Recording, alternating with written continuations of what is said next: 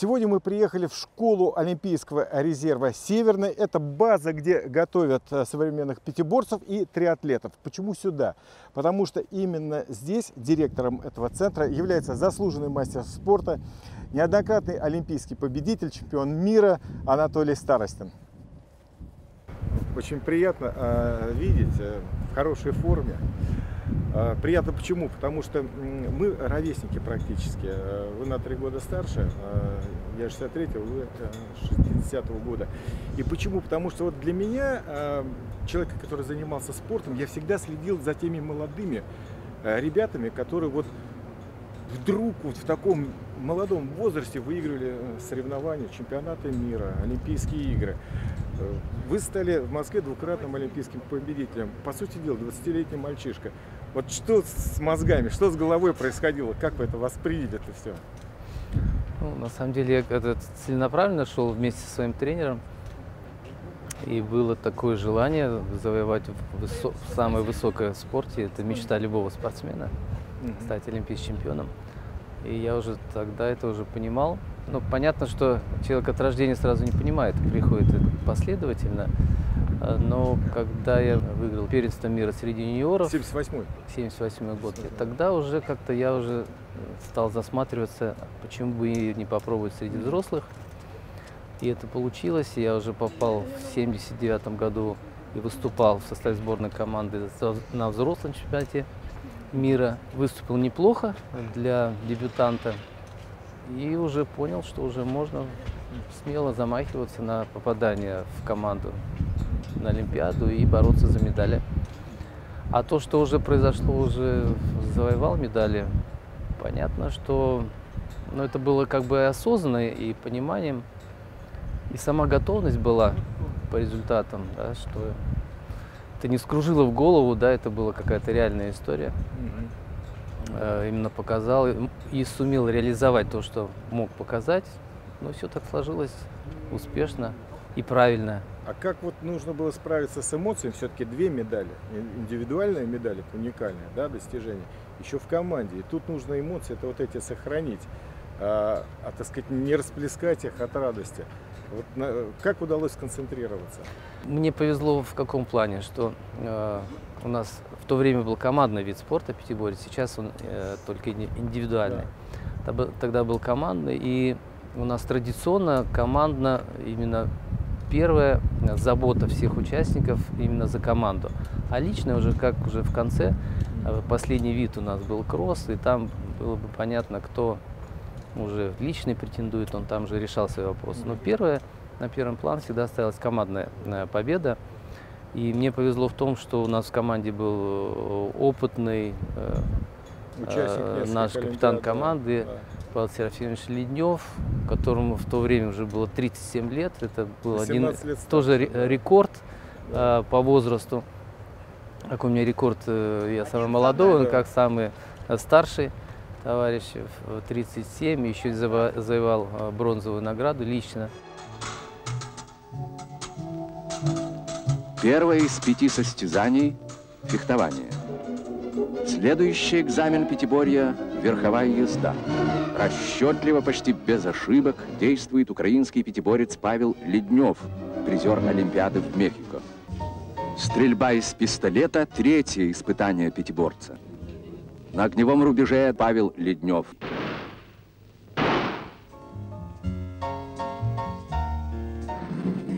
Для пятиборца майора Павла Леднева Московские игры были четвертыми, в которых он выступал. 37-летний спортсмен в личном зачете завоевал бронзовую медаль. Команда СССР, в составе которой выступал Леднев, стала чемпионом Олимпиады. Он нас собрал, молодых ребят. Э, Еще у нас был в команде Липеев, он тоже было 22. 22 да, года, не, да, не да, старше. Тоже достаточно молодой. И он сразу же э, нам сказал, а, учитывая, что мы молодые, хотим где-то индивидуально что-то проявить, он говорит, ну, давайте вот все-таки мы подумаем о команде, а потом уже о личном. И это сыграло, наверное, тоже положительную а, роль о том, что мы а, эмоционально не расплескались. Да? Потому что когда ты думаешь о себе, это другая история. Да? Когда ты ответственный за других, то более собрано. И, соответственно, вот это и помогло нам в команде завоевать золото. Вы готовились э, уже на олимпийских объектах э, и, или э, они для вас были, вот, ну, что называется, тоже, как для иностранцев, э, впервые они там на этих площадках? Нет, конечно же, мы... а, Вот что такое родные э, стены, да, помогают? наверное, вот это как раз частица того, что э, обкатывается. Да, и нам, ну, мы не- постоянно были, но, по крайней мере, для нас это было не новизна, что мы и в лесопарке, где бегали там, э, Это очень под- важно. да, подтренировались, да. Мы и на площадке, где конкур был тоже, э, попробовали несколько тренировок. То есть несколько тренировок провели для того, чтобы это было не новизной какой-то, а это для спорта достаточно важно. И как раз вот эта формулировка, что родные стены помогают, это как раз вот из той истории, что она, действительно помогает. А я хотел вопрос с точки зрения задать. Вы же много видели площадок э, зарубежных. Вот то, что в Москве сделали по вашей дисциплине, ну и не только по вашей, потому что биться это до сих пор, да, иконная база. Э, К сожалению, Мытищи уже, э, увы. Но то, что вот сделали вот эти дворцы, стадионы, э, сравнить вот с аналогами зарубежными, это насколько действительно было ну, передовое, современное? Олимпиада, она именно строилась для того, чтобы соответствие было именно этому рангу, этому уровню. И, и иностранцы под впечатлением э, оставались, и, ну и мы, конечно же, да, что а, настолько это были, ну, во-первых, для нас тоже красивые, удобные сооружения, а, современные. И вполне я считаю, что того уровня они соответствовали а, требованиям.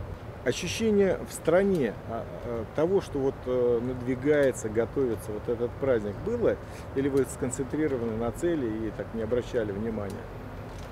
Я, я думаю, что не то, что думаю, я передаю ощущение, что, конечно, было, это все сказывалось, потому что видно было, что именно вся страна готовится, все нацелено вот на э, города, в которых были, проводились Олимпийские игры, м, что все силы самые лучшие стягивались туда, для того, чтобы сделать эту самую лучшую картинку, которую они и сделали, да, действительно был такой огромный большой праздник, праздник он э, в стране, но для всего мира. Такой была Москва в июле 1980 года. Столицу украсили десятки новых олимпийских сооружений. Труд большого коллектива строителей, архитекторов, скульпторов.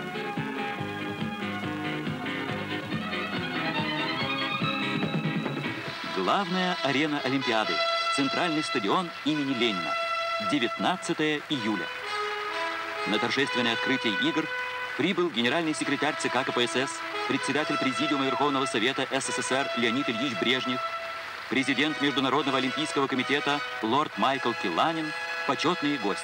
Наш Принять, народ да. гостеприимный народ, да, и они, конечно, на, по максимуму выложились, чтобы, чтобы вот не ударить грязь лицом, показать все красивое, все современное, все совершенное, то, что у нас есть.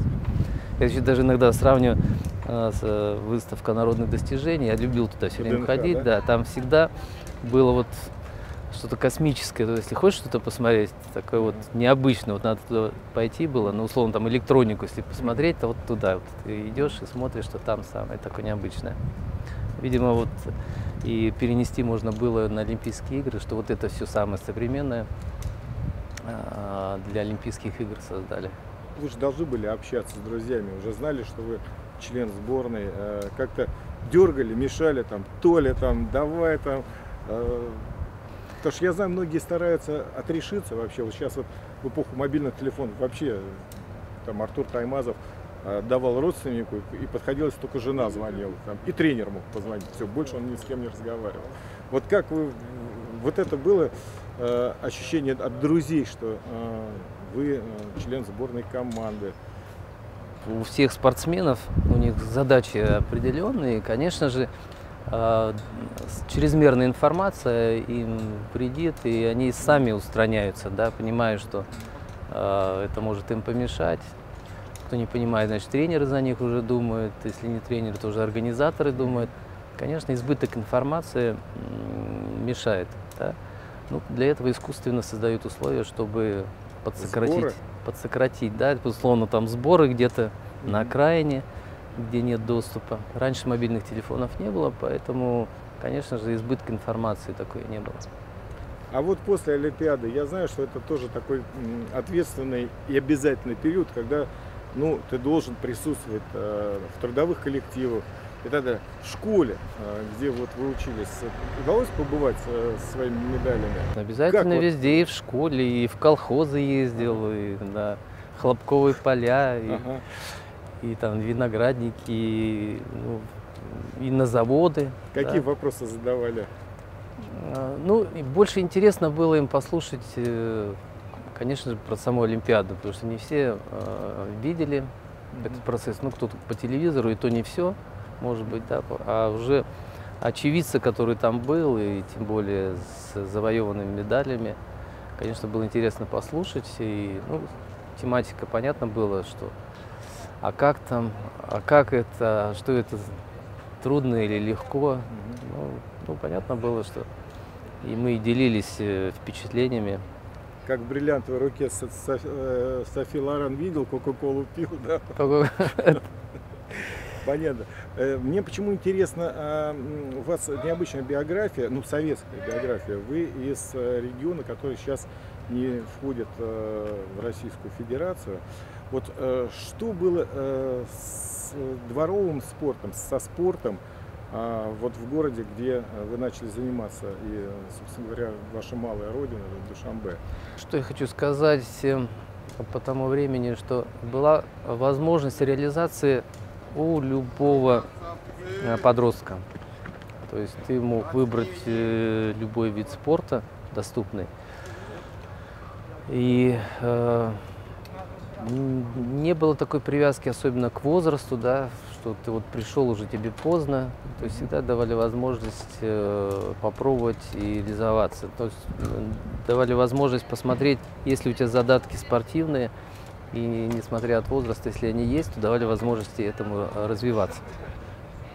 И также у меня я несколько видов спорта менял, хотя мне нравился футбол, не но получилось так, что тренер тогда ушел из команды, у нас как бы развалилась команда, да, но так сложилось, что у меня старший брат занимался пятиборием и говорит, давай попробуем пятиборье. А, ну, вот так сложилось, что я пришел в пятиборье. Не то, что там прям любил и пришел, но так вот сложилось, что вот вроде с братом будем вместе ходить, тренироваться за компанию. А вот все-таки выбор окончательно происходит. Это э, притягательность вида спорта или же это тренер, который там оказался и вот так совпало, что вы нашли своего человека? Э, Я думаю, что тренер, да, потому что э, даже если спортсмен очень хочет, тренера нет, э, нет привязки, Э, некому учить, э, некому организовывать. То есть тренер это большая составляющая, и когда она э, совмещается, и тренер хочет результатов добиться, и спортсменка, вот это вот именно такая важная связующая для достижения результатов. Кем для вас тренер вот был в итоге? Это, э, можно сказать, что второй отец э, или все-таки это специалист уважаемый прежде всего? Ну, слово отец, конечно, нет, но э, как отец, да, вот, э, который взял на себя нагрузку, да, потому что однозначно это нагрузка, это не только э, тренер, который э, готовит там тренировочный процесс, он э, думает обо всем, об организации всего, да, он и заботится и о твоем будущем, да, что и чтобы ты не только спортсменом был, но и еще образование у тебя было, да, что ты и после спорта как-то мог э, дальше развиваться. Ам, Культурно развивал, безусловно, да, вот у меня тренер в этом плане очень хороший. м, А как? И культурно, там, А и, и как? в театры ходили, там, да, и на выставки, и э, в галереи художественные. Ну, старался и рекомендовал, какие книжки нужно почитать. Сейчас, э, как вы считаете, э, вот эта связка тренер-спортсмен, она чуть изменилась в современную эпоху по сравнению с советской? Да нет, она не должна измениться. Это меняются просто какие-то условия, Внешние, а, да? да, или как говорят, гаджеты поменялись, да. э, А чтобы добиться результата, все равно должно быть составляющая э, единства тренера и спортсмена, цель. Да, без цели как бы ничего не, не движется никуда. Пять дисциплин в вашем виде спорта. Вот э, какая любимая, какая не очень любимая и почему? Ну, э, я уже до этого то, что сказал, что не то, что я, мне понравилось Пятиборье, я пришел туда, да, так стечение обстоятельств возникло. И когда я уже понимал, что уже э, хочется каких-то результатов, э, я понимал истину, что если ты не полюбишь этот вид спорта, то тоже шансов у тебя никаких не будет. Ну и создал искусственное такое вот, полюбил, да, да, люблю этот вид спорта. А Уже- самое, самое любимое что? Э, Да, все одинаковые, да, и поэтому я и был такой спортсмен м, одинаково ко всех, во всех видах. У меня не было слабых и сильных, у меня были все хорошие. Вот для меня э, понятно э, все дисциплины за исключением лошади. Тем более, что вы лошадей своих узнаете, что называется, вот на соревнованиях. Это не так, как э, наездники или конкуристы, которые э, со своими лошадьми, как правило, выступают. Как вы вообще с животными контактируете? Какие секреты э, и какие были там казусы? Ну, Вот здесь сама специфика, именно от того, что э, у пятиборцев э, лошадь достается по жребию, а и тренировки также проходят. То мы все время э, тренируемся на разных лошадях. Мы осваиваем разные норов, ха- характер лошадей, специфику лошадей. То есть для нас, по идее, э, ну, для меня, по крайней мере, и для моего тренера, мы сразу понимали, что надо с любыми лошадьми работать для того, чтобы на соревнованиях, если попадается, чтобы тебе легче было э, с ней справиться. Ну вот какие э, секреты, действия? Вот что вы делаете, чтобы лошадь э, послушалась вас, да? Ну, понятно, это э, такая тонкая специфика. Здесь э, лошадь это животное, и она очень чувствует всегда всадника. И это одно из со- составляющих, э, кто на лошади сидит. Э, То есть лошадь быстро чувствует, если слабый всадник, то она из него уже вьет веревки. Слабый духом. А, Да, то есть передается это ощущение сразу же. А, Ну и главная еще составляющая это умение. Да, если ты это умеешь делать, то это передается уверенность, уверенность, она тут же передается лошади, что сел не новичок какой-то, да, Мгм. там дернул там за повод, там Мгм. и э, послать шенкелем не может лошадь. А Если всадник э, хороший садится, лошадь сразу понимает, кто на нем, э, на ней сидит и как управлять этой лошадью. Ну, это главная составляющая, которая тоже дается тренировками. Это все тоже тренируется. А, Да, и учитывая, что разные лошади, ты уже понимаешь, э, где ласка, где пожестче, э, где на взаимопонимание. То есть э, разные варианты уже подготовлены. Ну, по сути дела, лошадь все-таки это лотерея, э, или я ошибаюсь? Но она в любом случае остается лотерея. Все Почему? остальное надежно. Вы знаете, что вы Да. где можете пробежать, выстрелить. Потому что они просто разные. Э, Раз разные здесь, опять-таки, с кем совпало. Да, вот бывает иногда совпадают у тебя с лошадью, да, вот темперамент условно, да, отношения друг к другу.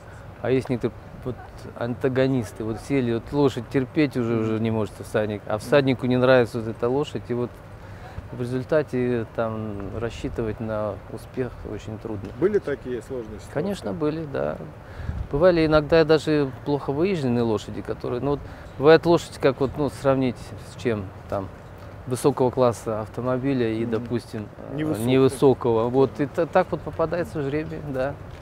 Это не Да. подстава, интересно. а Даже жаровники как-то. Э, Ну, в среднем э, они могут пройти маршрут в среднем, но на одной ты просто с удовольствием это сделаешь, а с другой ты очень сильно попотеешь, чтобы то же самое сделать. Вот вся вот разница.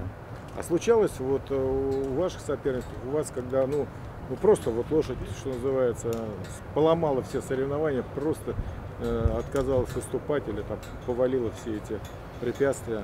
Постоянно таких историй э, э, были. И у меня вот, допустим, такая, я бы сказал, даже трагическая, трагичная история, да, что вот перед Олимпиадой на отборочных соревнованиях э, класса А, это самые такие высокие, которые можно было отобраться на чемпионат мира, Олимпийские игры. Вот как раз перед Олимпийскими играми три старта подряд, который должен отобраться на Олимпиаду, Мгм.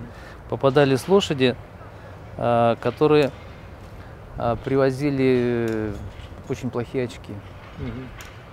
И они мне попадались, нулевые очки. Вот, то есть 0 очков мне достается эта лошадь. То есть э, три соревнования подряд, 0 очков. И вот они попадаются. Я привожу, конечно, на них очки, но занимаю места там десятки, но не в, не в, лиде, не в тройке призеров. И в конечном итоге я чуть ли на Олимпиаду не попал. То есть у меня уже... Это, пос- это какая Олимпиада история? Это в 92 году. 92-й. Да. И то есть э, именно тренерский совет уже решает, что меня поставить, потому что, ну, понимает, что это не от, не от того, что я, а были такие лошади, которые не позволили мне занять э, место повыше, да. И на Олимпиаде же четвертый подряд, Да, да, да. опять э, передо мной, по-моему, португалец проехал 0 очков. Лошадь отказалась прыгать, и она мне достается подряд. Кошмар какой. И, Какие ну, чувства? ну, да, это у меня даже история где-то написана а, какой-то компания, что я рассказываю эту историю, что она мне отказывалась прыгать на разминке, не до конца отпрыгала препятствие, которое хотел. Э, Чтобы вывести ее на основное поле, она там падала э, на землю, да, э, в кустарники забегала, что она не хотела, не, не хотелось ей просто идти, да. Учитывая, что у меня есть подготовка, да, но тогда и еще был так, такой нюанс, что именно защиту животных приезжали э, представители и говорили, если, да, будет, если чрезмерное наказание, будет сниматься сразу соревнование. А как раз именно, вот- там бывает такая история, когда надо иногда пожестче лошадь, ну, чтобы она заставить ее, да, потому что по-доброму уже не получается, а не выступить и подвести команду ты не имеешь, не имеешь права. да. И вот мы с трудом как бы вышли на, э, на главную арену. Я приветствую уже судей, дает мне команду, и она не собирается. Она св- свечки, там, в общем, брыкается, не хочет. И мне нужно было как-то вот извернуться, чтобы защиты животных все правильно понимали. Соблюсти правила эти, да? Да, и вот как-то вот мне удалось. Тогда я Всевышний уже просил за- зарядить как-то вот эту историю, чтобы что-то вот что-то произошло.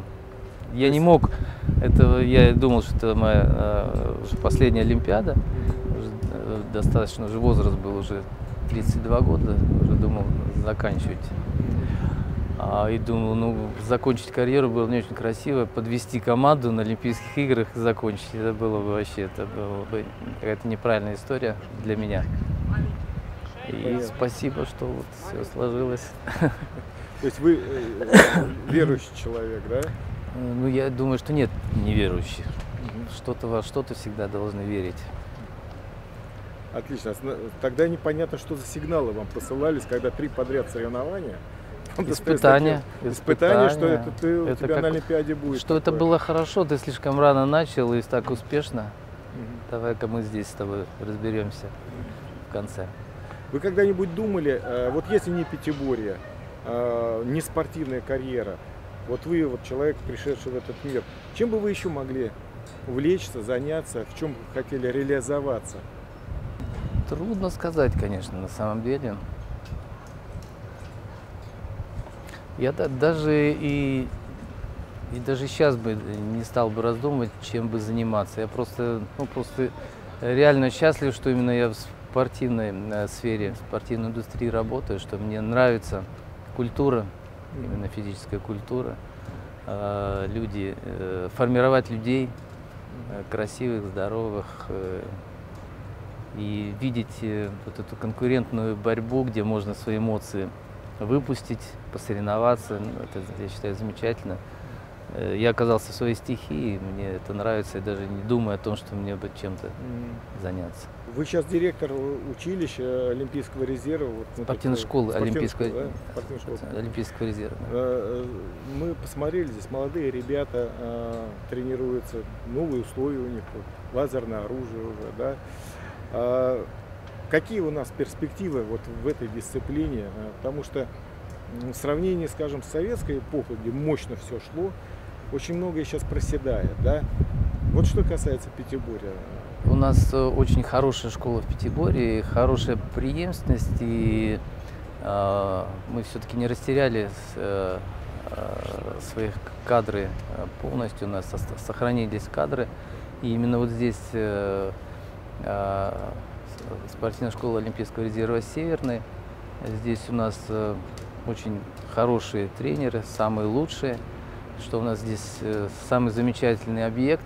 И здесь осталась кузница, можно сказать, даже мека, потому что э, именно здесь и- и на этих базах и тренировались олимпийский чемпион э, Сватковский, э, двукратный олимпийский чемпион Моисеев, а, и вот э, совсем свеженький олимпийский чемпион в Рио-де-Жанейро Александр Лисун, Мгм. непосредственно воспитанник нашей школы, который стал э, в последней Олимпиаде Рио-де-Жанейро олимпийским чемпионом. Это говорит как раз о том, что э, наши традиции, они продолжаются, успешно реализовываются. Есть все условия для того, чтобы продолжать готовить э, новые смены, новое поколение. И если сами посмотрите, так люди стараются э, ковать результаты. Ну и м, пожелания а, молодежи, которая будет смотреть э, в Ютубе, это э, можно делать в любое время. Вот, может быть, кто-то заинтересуется и пятиборьем, таким необычным видом. Ваши принципы, вот э, что главное, наверное, вы пожелали тем, кто вот становится на спортивную дорогу? Э, Ну, сколько не пожелать, конечно, э, как поделиться, что если очень хочется, то можно э, тренироваться столько, сколько нужно. И, конечно же, удачи. Удача всегда в спорте она есть, она есть. С ней, конечно, тоже надо дружить.